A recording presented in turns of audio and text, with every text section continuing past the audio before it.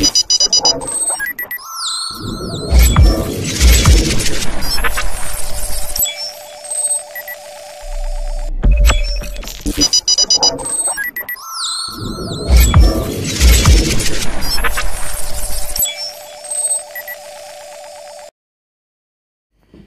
guys, what's up? Magandang araw po sa inyo lahat sa mga kababayan ko na po pala dyan sa Pilipinas.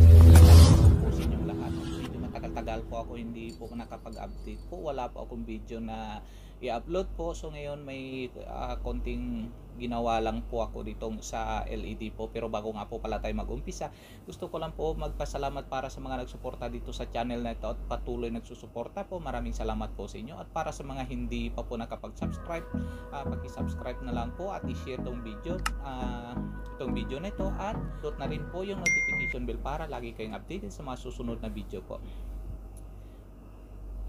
well hindi na po ako magpaligoy-ligoy. Sahan na po natin? Tara. Ito nga po pala mga kaibigan LED light po mga kaibigan. Ang ginagamit po nila dito ay AAA tatlong battery po yung battery na maliliit po. Okay dito po ilalagay so ang gagawin po natin i-modify po natin. May power bank na po tayo. At saka yung USB cable po kay USB naputol na po yung dulo. So ngayon gagawin po natin okay hahanapin po natin yung positive at saka negative nito po.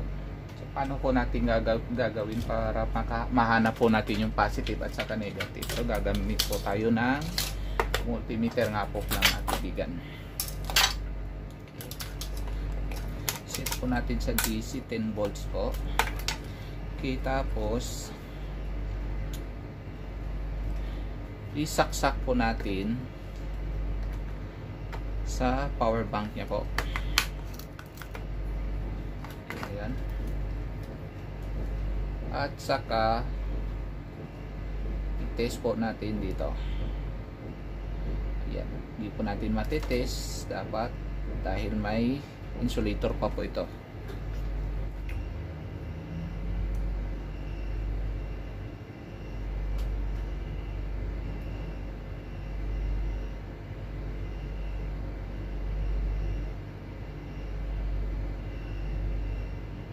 Wala po kasi tayong lighter mga kaibigan. Pasensya na po kayo. Wala po kasi akong lighter dahil tumigil na po kasi ako sa paninigarilyo po kaya wala na po akong baon na lighter po.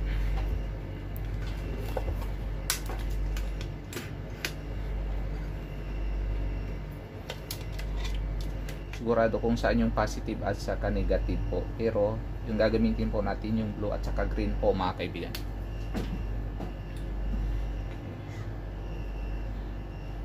Dahil itong pula at saka dilaw po ay sa data po ito.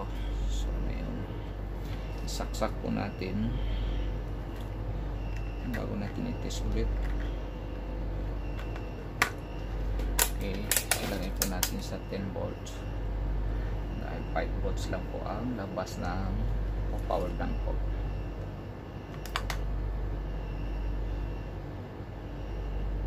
Ayan. Ang ibig sabihin yan po mga kaibigan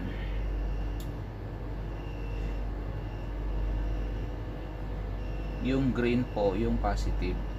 Ayan.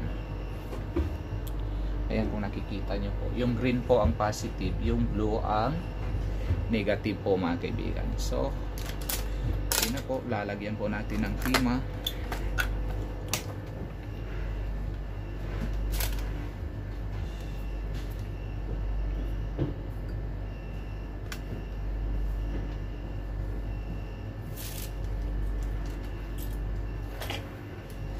tabi na po natin yung multimeter po natin mga kaibigan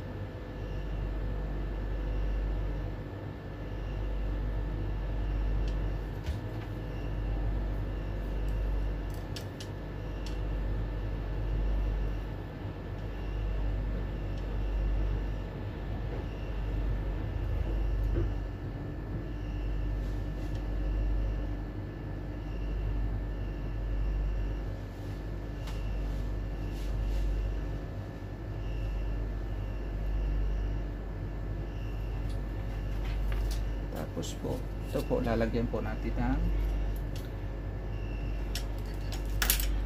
lid po yung sa negative po.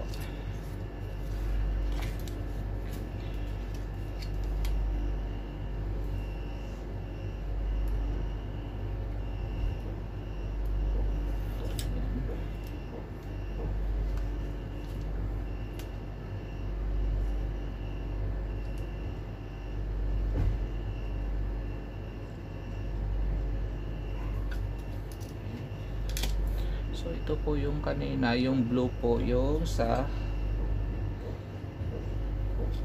negative. Lagay po natin yung negative. Almost naman po yung negative may spring po.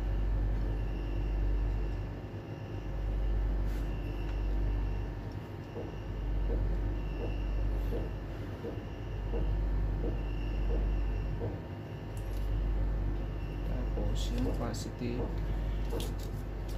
yung green.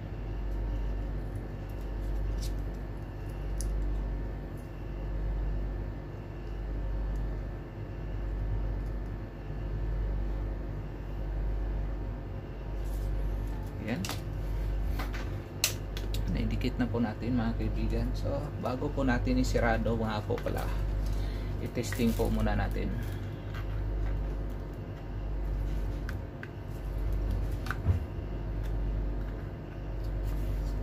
Ayaw nilok pa. Ayan.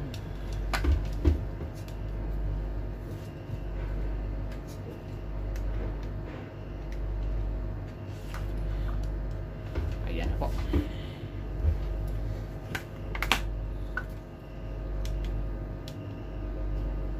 Oh, pag pinindot mo off, tapos steady, tapos may lumiit siya ng konti, nagbi-blink, tapos ah, pass blinking po siya. Tapos off. Okay, ayan. So, gagawin po natin dahil para i-secure po natin yung wire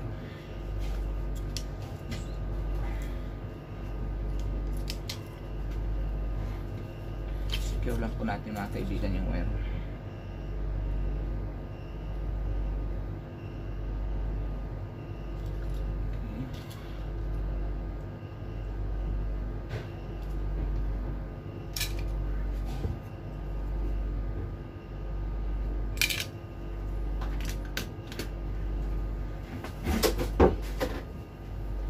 Amoy sunog.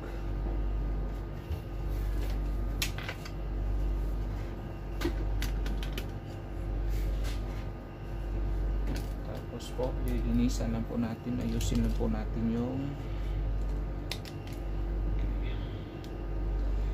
para malinis po siya ng konti. Okay. Okay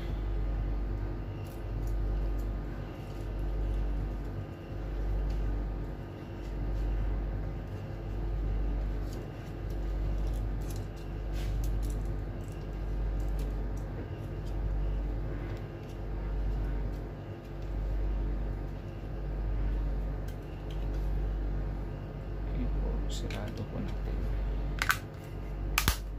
Ayan.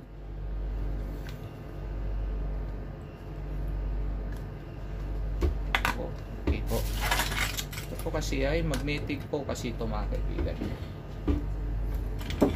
Ayan po, magnetic po siya. Magnetic na ilaw po. Pwede po natin ipadikit sa bakal. Ayan.